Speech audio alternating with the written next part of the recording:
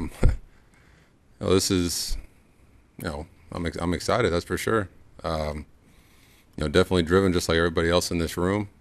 You know, had quite a few opportunities the past couple years to, you know, go out there and win a win a World Series, and we've come up short. So I think every single one of those times that we've you know kind of fallen on our face has been a, you know, definitely a learning experience for me and a lot of guys in this room, and we're just excited to get back out there and you know hunt it down this year. You know, I'm also excited that we got quite a few guys that this is their you know first time getting into the postseason and getting a chance to play some meaningful games. So this is it's, it's an exciting time and a lot of buzz in that in that clubhouse right now. So we're just ready to get rolling for tomorrow.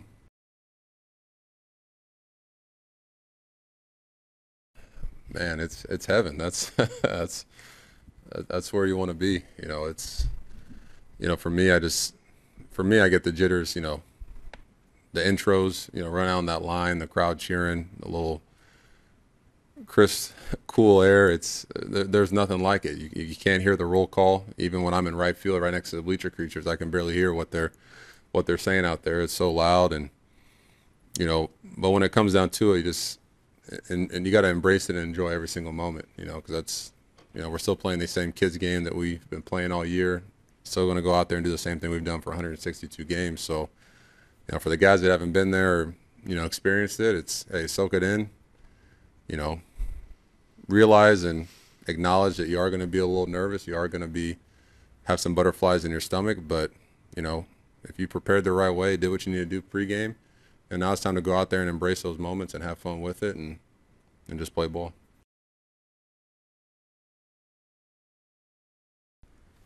It's gonna it's gonna be a tough series. You know, we've battled these guys, you know, earlier in the year at our place, and then we went to them a little bit later in the year and it was, it was a dogfight back and forth. You know, they got a young team that, you know, they got a lot of young, fast players offensively that, you know, work a great at bat.